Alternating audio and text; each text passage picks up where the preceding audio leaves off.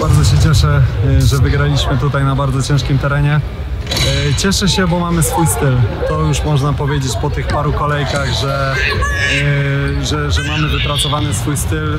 Super jest na boisku, naprawdę jest, jest mega atmosfera. Walczymy o każdą piłkę. Dzisiaj myślę, że to było widać.